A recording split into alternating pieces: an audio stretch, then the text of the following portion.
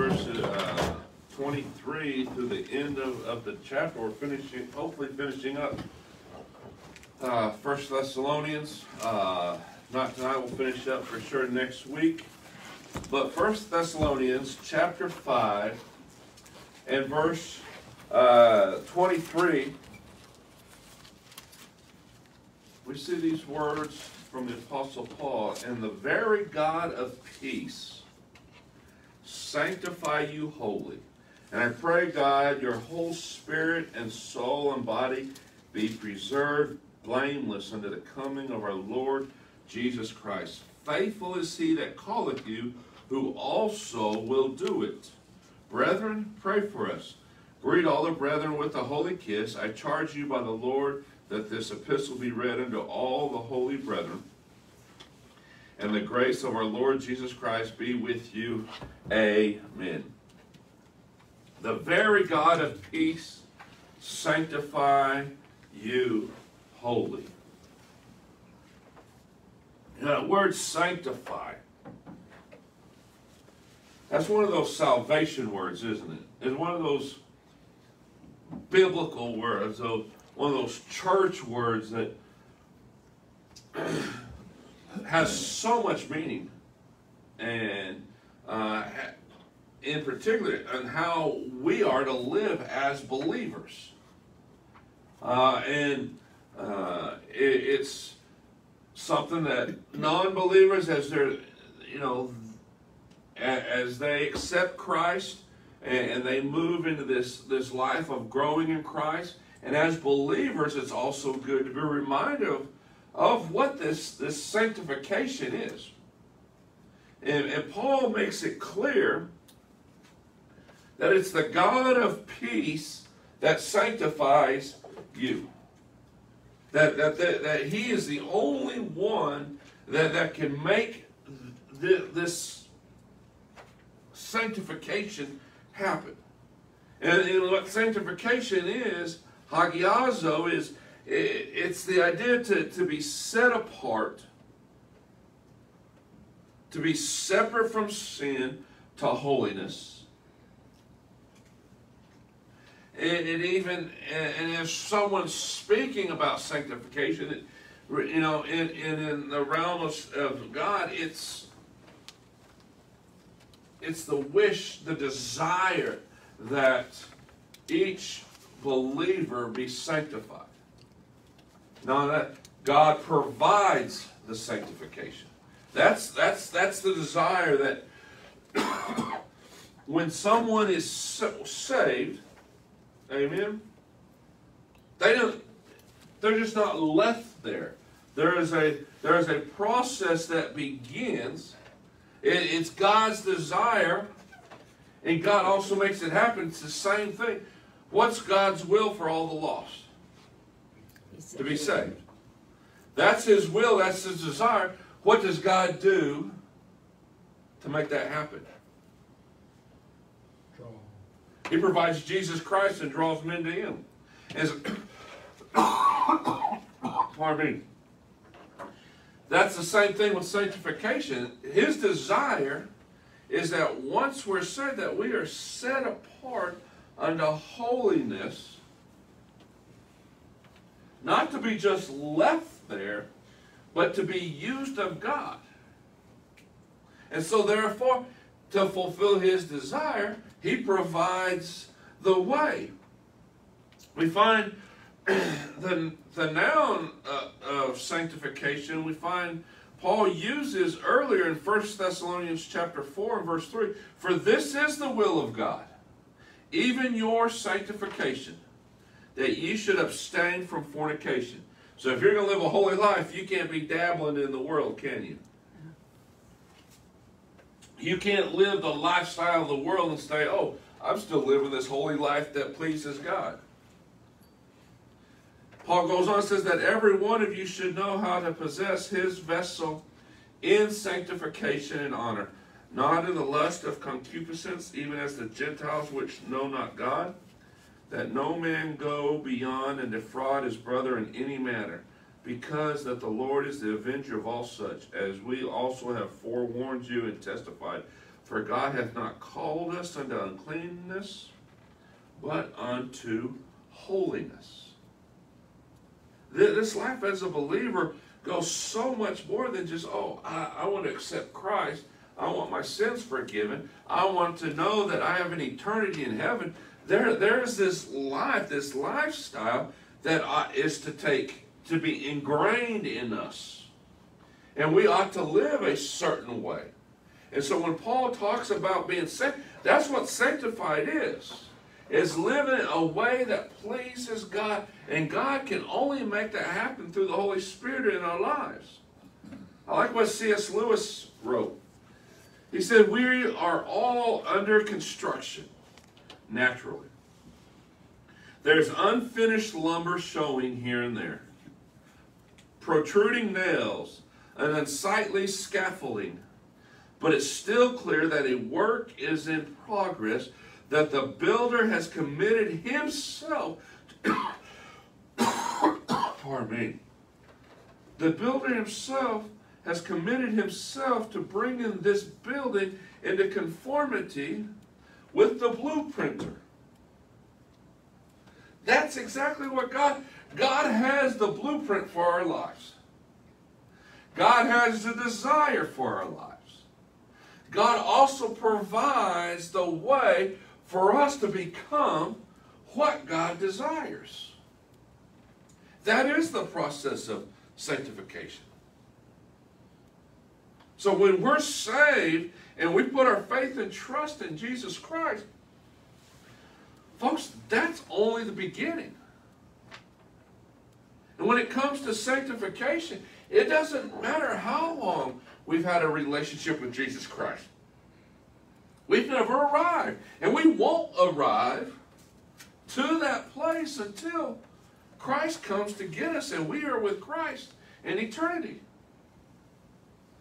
Peter writes in, in 2 Peter chapter 1 with concerning this thought, according as his divine power hath given unto us all things that pertain unto life and godliness, through the knowledge of him that hath called us to glory and virtue, whereby are given unto us exceeding great and precious promises, that by these ye might be partakers of the divine nature, having ex escaped the corruption that is in the world through lust.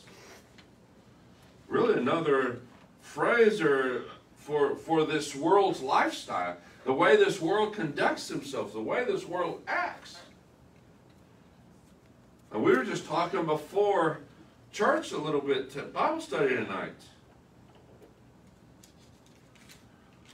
The way a believer is to live versus the way America is going is night and day. Amen. It is night and day. And the reason is that is that believers are to live their lives according to what brings God honor and glory and live an obedient life. And for that to happen, the Spirit must be allowed to work in our lives to lead us in that direction. And that is this sanctification process that, that Paul writes about, that, that Peter writes about. Peter goes on to say that as we escape corruption, he says in verse 5 of chapter 1, 2 Peter, besides this, giving all diligence, all of our attention. You know, if our attention would be placed in, in the right direction, a lot of the problems that we have, the issues that we have, would disappear. But look what he says. Give to all diligence. He's talking to believers here. Add to your faith. What is our faith? It's what we have put in Jesus Christ, the finished work of Jesus Christ. It's by faith that we're saved. The grace from God and the faith that we put in the work of Christ that we're saved. He says, add to your faith Not add so that you might be saved. You're saved, but add to that salvation virtue. And to virtue knowledge, and to knowledge temperance, and to temperance patience, and to patience godliness, and to godliness brotherly kindness, and to brotherly kindness charity. For if these things be in you and abound, it's more than just saying, oh, I got these things in me.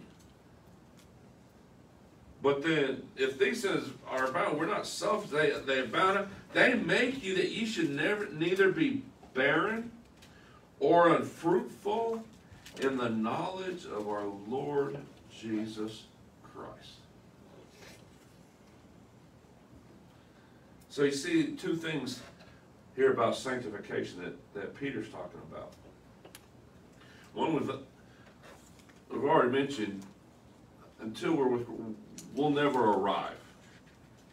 There's always something that in our life. But how about this? Oh, do we ever get to a point where we gain so much knowledge that we completely know everything about God? Now we laugh. Some of you laughing at that. And if we're honest, we'll probably say we know less about God now than when we first were saved. I mean, there are there may be times in our lives where we thought, you know what, man, I've read God's word. I got, I mean, man, I'm getting this stuff. I'm figuring this stuff out. But then the more we, the more that we seek the Lord in this journey, the more we find out less that we really know. But then the more we want to. And so we this this describes this process that Paul is telling the Thessalonians. The very God of peace sanctify you wholly, not part of you, not pieces of you, not half of you, but wholly. And he says, I pray, God, your whole spirit, soul, and body be preserved blameless. So I want us to look at three aspects that we find in Scripture concerning this thought of sanctification.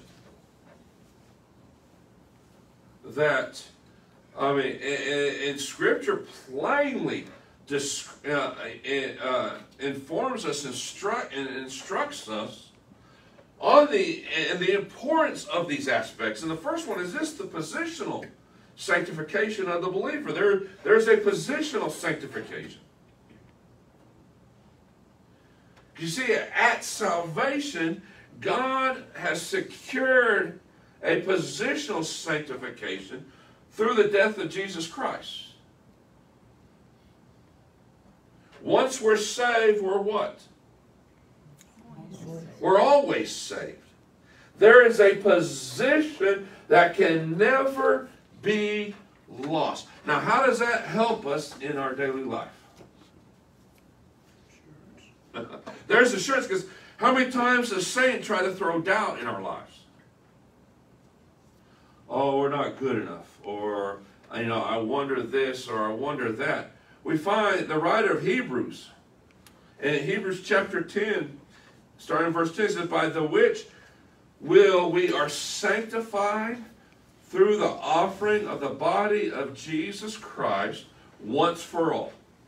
And every priest standeth daily ministering and offering oftentimes the same sacrifice which can never take away the sins. What's the writer saying? Well, remember the sacrifices that would take place on the altar at the temple? Every year they'd have to bring in their, their, their, their sacrifice. And every year the priest would do what? They would take that sacrifice, they would put it on the altar, they would sacrifice it, uh, setting up offerings to the Lord. Once a year, the, the priest would, the high priest would go into the holy of, holiest of holies on behalf of the people. But guess what? That never took, did it? I mean, you can imagine we, we, we get this idea that the temples is this magnificent looking, ornate thing, but man, where the where the altar was. I mean, it was just constantly. You were reminded of blood. I mean, not only the look, but after a while, what's the smell? I mean, the temple was the holy place, and it stunk. What would happen if, I mean, we, we look at the church building as a holy place. What would happen if we'd come into worship and it stunk? Right then, our worship is turned off. But how different was it? They'd bring their sign. I mean, and it did. Now, you know, it'd be open air, but still, blood is blood, and blood that sits, and blood that, you know, blood that is burned, and flesh that is burned. There is a stench. But that's where they were coming, and they did it over and over because it didn't take. But the writer says in verse 10, once and for all. Through the body of Jesus Christ, we are sanctified. And in verse 12, but this man, if he had offered one sacrifice for sins, forever sat down on the right hand of the hand of God, for henceforth expecting till his enemies be made his footstool. For by one offering he hath perfected forever them that are sanctified. There is this positional sanctification in Christ because of what he has done on the cross. Once and for all. That's why some title the book of Hebrews better.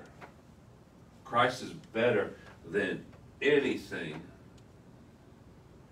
that those that want to go back to the law or anything we can even comprehend. Once and for all, we have this position in that God has rescued believers in this positional sanctification. Paul writes in 2 Corinthians chapter 5 and verse 17, Therefore, if any man what? Be in Christ,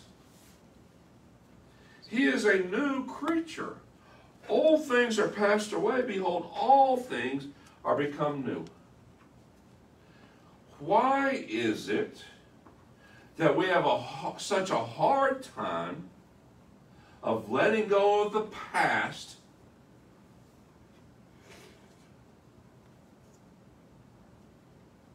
and grabbing hold of the future, even though God has said we are a new creation, creature created through Christ Jesus. Why is it? What is it in the past that we hold on to so what is what is the draw to the past? And we, we battle with that. Things that are in the past. Christ has come in. He, he has made us a new creation. We have this new position. We have been set aside because of the work of Christ, but we want to hold on to the past. Paul says those the past has been done away with. It's been passed, the old things have passed away. All new things have become new, and all things are of God who hath reconciled to himself by, here we go, through or by Christ Jesus, and hath given us the ministry of reconciliation. To wit, that God was in Christ reconciling the world unto himself, not imputing their trespasses unto them, and hath committed unto us the word of reconciliation. Old is passed away. He has made us new. He has reconciled us. But look what Paul says in verse 20. Because of this process, now then, he says, wait. He doesn't say, I, hey, I got it all. I, I'm Paul. I've got this calling from God. You know, I, I am an apostle. Not once do we ever see Paul with that tone, do we? What pronoun does he use? Now, we. Who's he writing to? The church of Corinth here. What do we know about the church of Corinth? Now, this is in Second Corinthians. We know a whole lot about Corinth in the First Corinthians. That was a church that's filled with a lot of issues. I mean, you talk about a church that needed some church discipline going on. But Paul says, now then we are what? Even those that dealt with, and, Paul was, was teaching them and admonishing them to change. He says, we've been reconciled, we've been set apart, we've been rescued. Now then, we are ambassadors for Christ. One that heralds, one that a, a representative. I mean, America has ambassadors to different uh, to countries, don't they? And what's the purpose of that ambassador? Represent. To represent. Paul says, We are ambassadors with Christ, as through God did beseech you by us. We pray you in Christ's stead that be, be ye reconciled to God, for he hath made him to be sin for us who knew no sin, that we might be made the righteousness of God in him. Going from sin, being reconciled, going from worldliness, sinfulness to righteousness. That is the process of being sanctified. Now that God declared, one who puts their faith in Christ declares them righteous. What does Paul write? And we, we find it in Romans chapter 1 and verse 7, 1 Corinthians chapter 1 and verse 2, 2 Corinthians chapter 1 and verse 2, Ephesians chapter 1 and verse 2. How does Paul open those books? To the what of what? To the saints. To the saints of right, to the saints at Corinth, to the we are saints because God has declared us saints. We are saints because God has made us right. He has reconciled us. Sainthood isn't declared by the Pope. Sainthood is not a Catholicism thing. Sainthood, Catholicism teaches sainthood is this, you have to wait five years. Unless the Pope decides to change it. You know, hence, when Mother Teresa passes away, instead of waiting the five years, kind of like, you know, it's kind of like, you, you almost think the Pope has gotten with the NFL, you know, football and basketball and baseball Hall of Fames, you know, because you can't go into the Hall of Fame unless you what? Been retired five years? You can't, in Catholicism, you cannot be a saint or be considered a saint unless you've been dead for five years.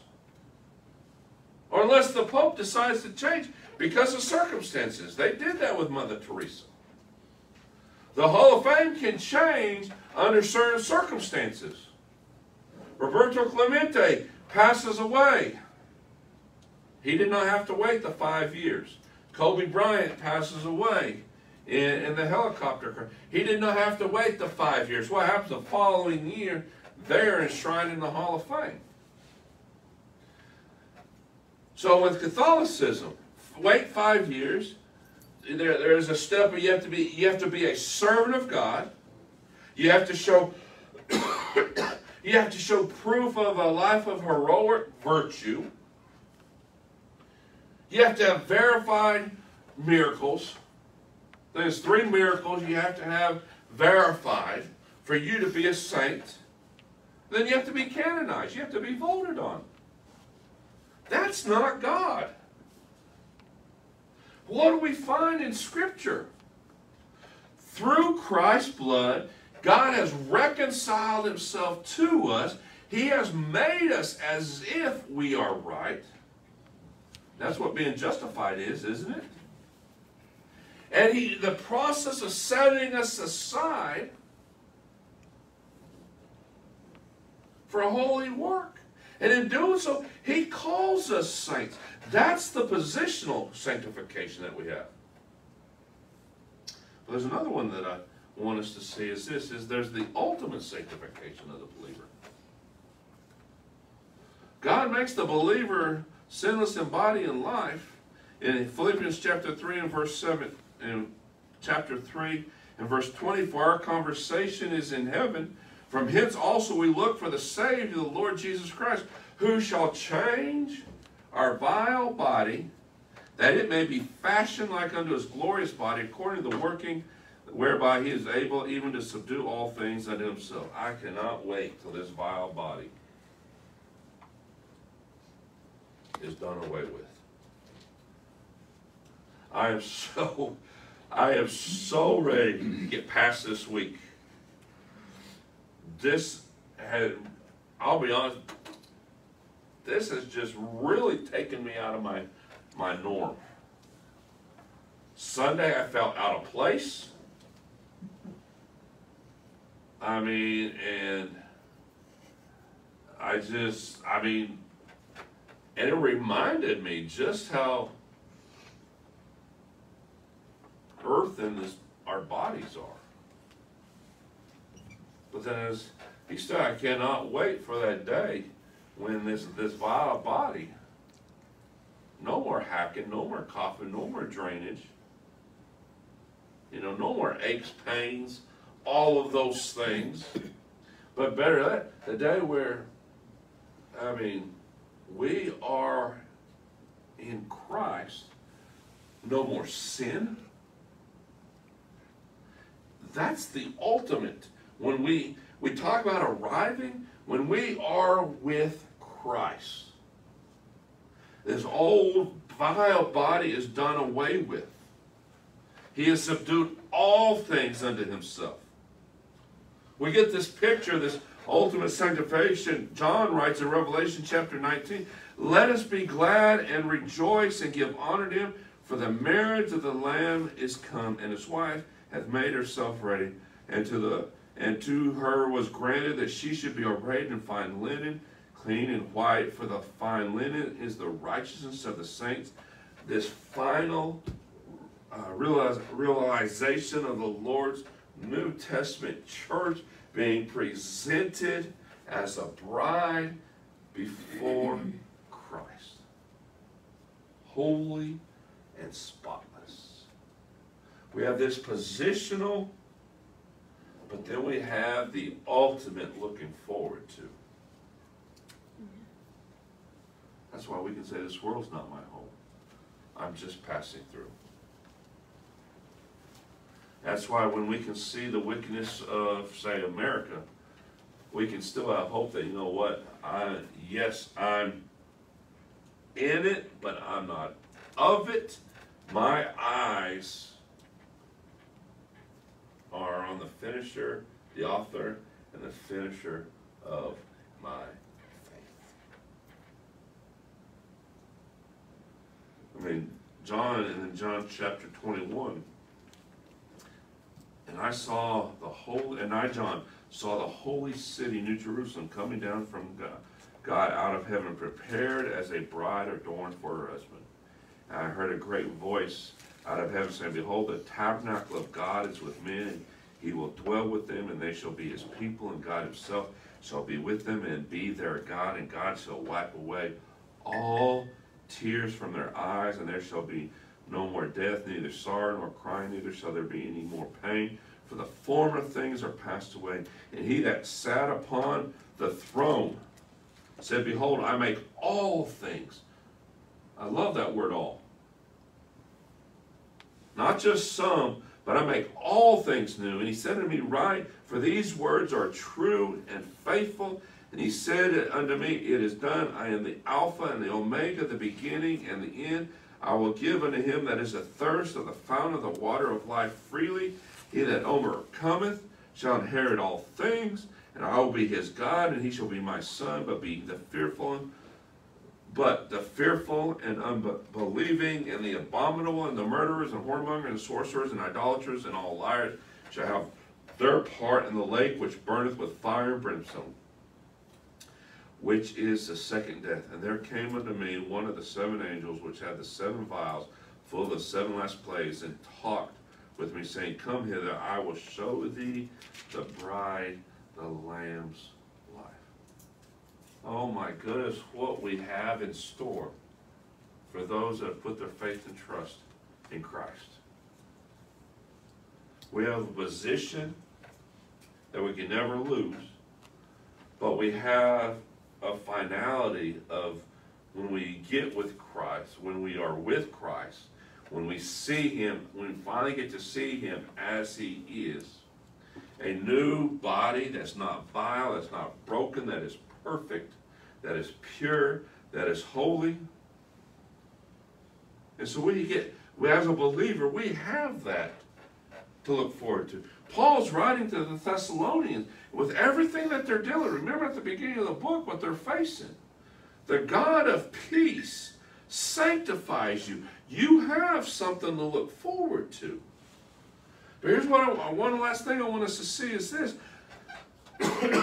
Not only just the position and the ultimate, but the present sanctification of the believer. Here's this third part. Paul writes in 2 Corinthians chapter 3 and verse 18, but we all, here he, he he's including all of us again, with open face, beholding as in a glass the glory of the Lord, are changed into the same image from glory to glory, even as by the Spirit of the Lord. What's he talking about? What happens when you stand before a glass? See yourself. You see yourself. You stand there long enough, what's going to happen?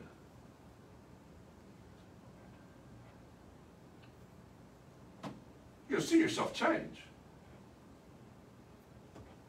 I mean, you go one day and oh yeah, boy, that I did, boy, that, boy, that's a nice, clean, smooth shave. I go the next day and I look in the same mirror and I'm like, what in the world happened? What took place? A change took place. And, and we can see that. Paul says, listen, beholding as a glass, as we're looking, what the glory of God does, it changes us into the image, the same image from glory to glory as, by the Spirit of the Lord. There is a process that's going on in our, even as we speak. God is moving us and making us and molding us what? Into the image of His Son. That's what C.S. Lewis was talking about. There is a work still be, to be done. Now, I've mentioned this before. The Hemphills used to say, I think they're the ones that made it famous, quartet. He's still working on me to make me what I ought to be.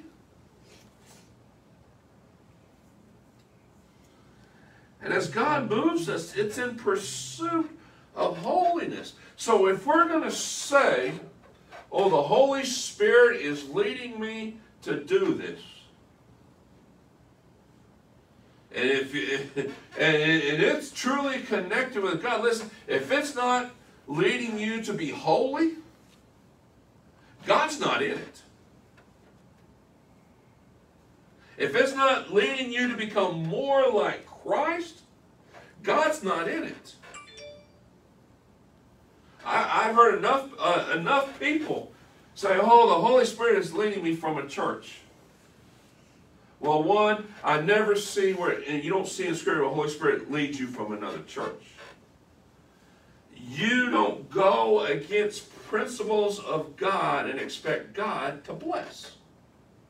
In your personal life, oh, I just feel the Spirit. Listen, if it doesn't connect with God and it's not moving you to become more like Christ, looking like Christ, it's not of Christ. And that's not part of the sanctification. And that's something that as we as believers must let go. God will never go against his principles. God never promises that everything's going to be perfect. God doesn't promise comfort. But he does promise to always be there with us. And he does promise that he's molding us and making us into the image of his son. Look what he says. Paul, or pardon me, Peter in 1 Peter chapter 14 says, as obedient children, not fashioning ourselves according to the former lust in your ignorance, But as he which hath called you is holy, so be ye holy in all manner of conversation. Well, I can't be holy. Well, we can't, but who has called you? Can any of us be holy? No. But if you're saved, you have been called by God. And if you've been called by God, He is holy. Therefore, we ought to live our lives in what? Such a way that we strive for that holiness. Be, be holy in all manner of conversation, because it is written, Be ye holy, for I am holy. God is the source. God is the source of all this sanctification. There's a Puritan, Thomas Watson said this Sanctification is a principle of grace savingly wrought, whereby the heart becomes holy and is made after God's own heart. A sanctified person bears not only God's name, but his image.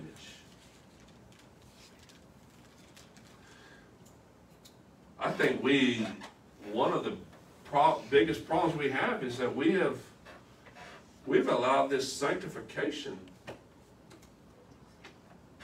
and how we look at sanctification to drive us in everything. Not only are we to have the name of God as a believer, but we are, what does he say? We are to have his image. So when people see us, what ought they ought to see? God. His attributes living in and through us. But you know what has happened? We've messed up that idea. We just claim the name Christian and we go live whatever way. We claim the name church member. But listen, a church member is more than just a name on a roll. There is a significance, there is an honor to be a church member. There is a privilege to be a church member. There are expectations to being a church member. We don't just turn them off. But guess what? That's the problem. We see, we do it with sanctification. We think we can turn it off when we feel like it. I'll be sanctified on Sundays. I'll be sanctified when anybody sees me, and then turn off when I want, and I can go act and say whatever I want. It doesn't work that way. But when we do it that way, guess what? Oh, it's all easier. You know, I'll put the label on as a church member when it benefits me. And I'll turn it off when, you know, I want to go do something else. It doesn't work. We are believers 24 7. Amen? Amen. Christian, Christ followers 24 7. If we are believers, guess what? We are to be sanctified, and that process is 24 7. If we allow ourselves to be led by the Spirit through the process of sanctification, guess what? The whole church member thing, the whole serving thing, everything that, guess what? Those things fall into place where they ought to be. I read this story. There's a couple who like to go to England, and there's this particular store that they like to uh, to go to. And on their 25th anniversary, they went to this store, and they they liked antiques and pottery, but their favorite thing was teacups. Teacups. And they went in the store, and there's this one particular teacup, and they said, "Can we can we see this teacup? We've never seen one so not so beautiful." And as the lady handed it to him, the key, the what made this special, the, the teacup spoke up. No joke. And the teacup said, You don't understand. I have not always been a teacup. There was a time when I was red clay. My master took me and, and rolled me and patted me over and over, and I yelled out, Let me alone. But he only smiled and said, Not yet. Then I, I was placed on this spinning wheel, and suddenly I was spun around and around and around, and, and I yelled, Stop it! I, I'm getting dizzy, and I screamed at him, but the master only nodded and said, Not yet. Then he put me in an oven, and I, I never felt such heat. And I yelled and, and I knocked at the door and I could see him through the opening and I could read his lips as he shook his head and he said, Not yet. Finally, the door opened and he put me on the shelf and I, he's like, whew, I began to cool. And he brushed me and he painted me all over. And, and those fumes were horrible. And I thought to myself, I, I'm going to gag. And he said, Stop. And I said, Stop it and stop it, I cried. And he only nodded, Not yet. And then the crazy guy suddenly put it back in the oven. But it wasn't like the first one. This one was twice as hot, and I knew I would suffocate. And I begged and I pleaded and I screamed and I cried, and I would never make it. I was ready to give up. But the door opened, and he took me out, and he placed me on the shelf. And an hour later, he handed me a mirror and said, Look at yourself. And Jacob said, I did. And Jacob said, That's not me. That couldn't be me. I'm beautiful. I'm, I'm beautiful.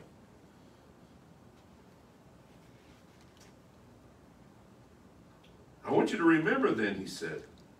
I know it hurts to be rolled and patted, but if I just had left you alone, you would have dried up. I know it made you dizzy to spin around on that wheel, but if I had stopped, you would have crumbled. I know it hurts, and it was hot and disagreeable in the oven, but if I hadn't put you in there, you would have cracked. I know the fumes were bad when I brushed you and painted you all over, but if I hadn't have done that, you never would have hardened. You would never have had any color in your life. I know the second oven was hotter than the first, but if I hadn't put you in there, you wouldn't have survived for long because the hardness would not have held. Now you're a finished product. You are what I had in mind when I first began with you. Folks, God knows what He's doing. God knows what He's doing. He's the potter, we're the clay. He'll mold us and make us. We may think it's not working, but when he's done, will be a flawless piece of work to fulfill his good, pleasing, perfect will. That's sanctification.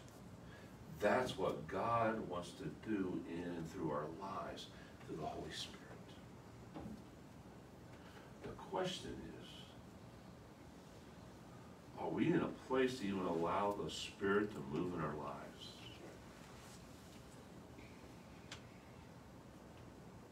Are we in a place where, you know, we're looking in the wrong places? We're looking at the wrong people. Instead of maybe we need to be looking, God, sanctify me. What did this, the, uh, the psalmist say? Search me, Lord. Search what? Search my heart. Not search my men's heart, my family's heart, my spouse's heart. No, search me. God, work in me. Sanctify me. Let's pray.